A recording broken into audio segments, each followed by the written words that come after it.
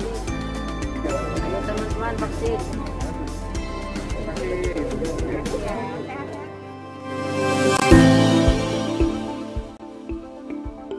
kita selalu melebihi dari target sampai 120, 130, bahkan 150 ribu pelaksanaan vaksin di wilayah DKI Jakarta.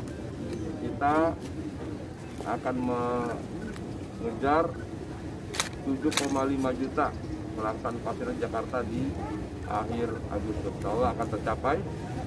Data sekarang sudah 5,5 juta dosis satu dan dosis 2 sudah mencapai hampir 2 juta totalnya sudah 7,5 juta dosis 1 dan 2 Insya Allah target akan tercapai bahkan seluruhnya kalau seperti ini mudah-mudahan Jakarta akan segera terbebas dari penularan COVID dan kita bisa melaksanakan kegiatan hari-hari seperti sedia kala. Tentu kita tetap melaksanakan protokol kesehatan menggunakan masker, jaga jarak dan lain-lain. Kami minta seluruh masyarakat untuk melaksanakan program PPKM darurat secara disiplin dan bertanggung jawab.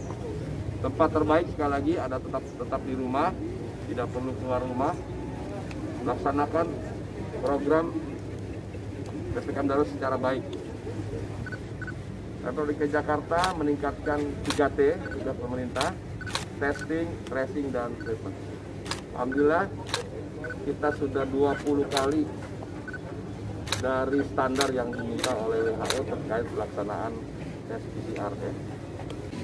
Di samping berbagai fasilitas kita tingkatkan, mulai dari rumah sakit, laboratorium, oksigen, vitamin, obat-obatan, tempat tidur, ruang ICU, tenaga kesehatan, tapi semuanya tidak berarti tanpa dukungan masyarakat dan disiplin masyarakat.